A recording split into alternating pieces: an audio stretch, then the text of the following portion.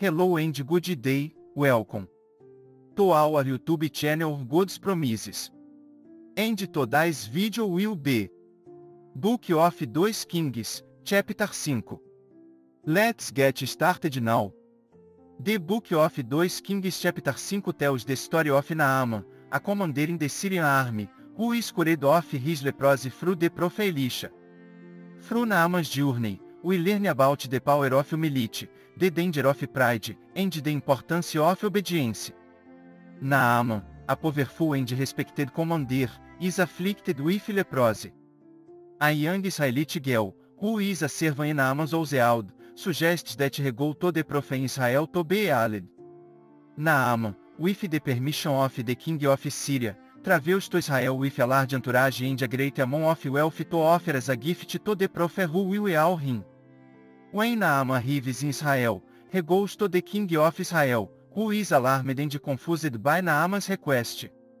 The king assumes that Naaman is looking for a reason to start a war, but Elisha hears about Naaman's arrival and sends a message to the king, asking him to send Naaman to him.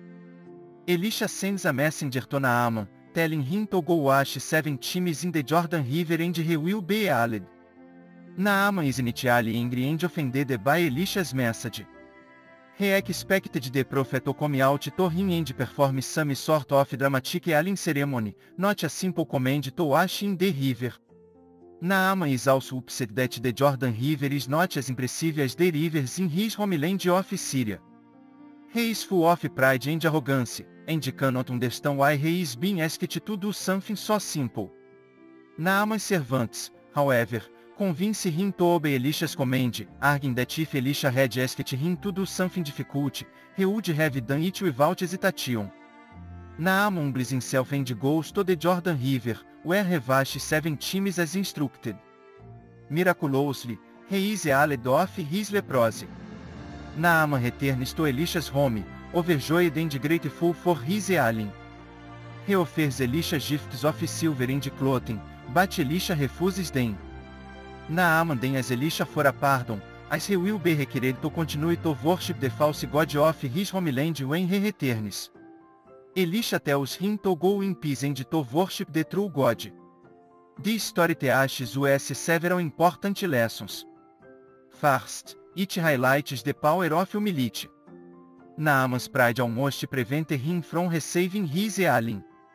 It was only when he humbled himself and obeyed the simple command of Elisha that he was cured of his leprosy. This reminds us that God opposes the proud but gives grace to the humble, James 4 horas e 6 minutos. Second, this story warns us of the danger of pride.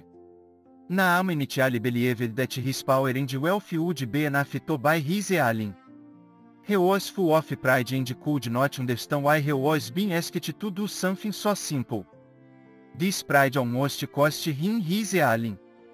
We are reminded that pride comes before a fall, Provérbios 16 horas e 18 minutos, saying that we should not think of ourselves more eagerly than we ought to, Romães 12 horas e 3 minutos.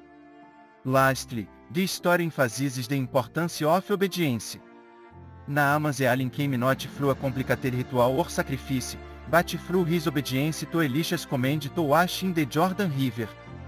This reminds us that obedience to God's commands, no matter how simple or seemingly insignificant, can bring about great blessings.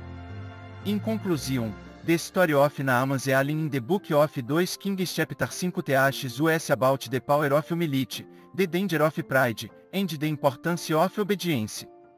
Naaman's journey serves as a reminder that God can work through even the simplest of actions and that his ways are not always our ways.